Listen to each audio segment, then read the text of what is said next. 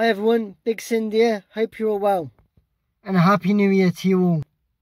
I'm selecting a few groups, two rap artists and a few singers. Take that and the Spice Girls joining together. Eminem, Ed Sheeran and Jess Glynne. Little Mix, The Backstreet Boys. Stormzy, Rihanna. Lady Gaga, Christine and the Queens. Cesar Sampson. All battling for that number one Christmas spot. All I'm requesting is a Christmas song from each one of you. Your feelings about Christmas. Not a cover or remake, just your feelings about Christmas. Bring that Christmas spirit back in 2019. Hashtag Christmas number one 2019. Please make it happen. Thank you. Hi everyone, Big Cindy here. Hope you're all well. Hope you had a great new year. Happy New Year to everyone, and I hope you had a good Christmas. Now, everyone knows the reason for this video.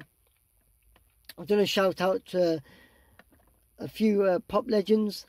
Okay, I've asked them to create a Christmas song, and I want it to be, you know, I want it to aim for that number one spot uh, in December. The reason for this is because, yes, I had a great Christmas in 2018, but I do believe that the Christmas spirit is creeping away. Now, I've asked a few people and they've agreed on this. Now, I know that as soon as December, you know, creeps upon us, the first thing that starts creeping onto the radio is Christmas songs.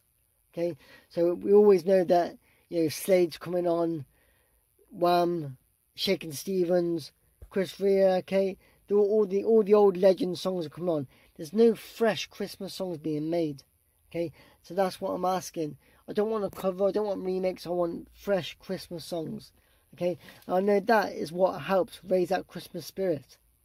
Okay, and I know that the the celebrities, uh, the singers, sorry, and the uh, pop groups that I've that I've selected, I know that every single one of them will wear their heart on their sleeve and create an, an amazing Christmas song that will all be battling for that Christmas number one spot.